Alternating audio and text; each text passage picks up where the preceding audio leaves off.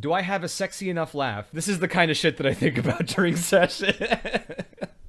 have you guys seen that image of like a person lying in bed and they're thinking, I have got to get sexier? That's what I was thinking as I recorded Kaveh. The magnum, the magnum, the magnum opussy, as someone just said. Uh, yeah, let me get a Palace of Alcazarzaray. Sheesh! No, that's actually just how Alhaitham um, expresses joy. Just he just goes, hmm.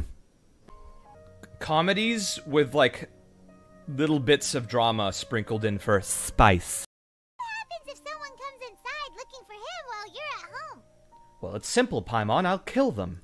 No, bitch, you you're gorgeous. You're gorgeous. I'll get therapy when I need therapy, okay? And then Alhaitham comes in and he's like, Kaveh, why did you share my notes? I'm gonna go sicko mode. It's. It's.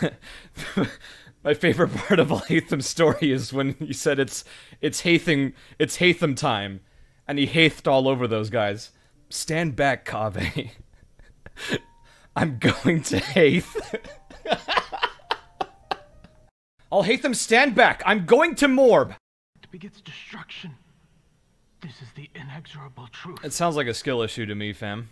Man really said, hmm, that's a nice viewpoint, Kaveh. Too bad it fucking sucks. Are curious to learn why you decided to give all this wealth away. I did it because I thought it'd be funny. All's well that ends well. Or is it? Why is this city so difficult?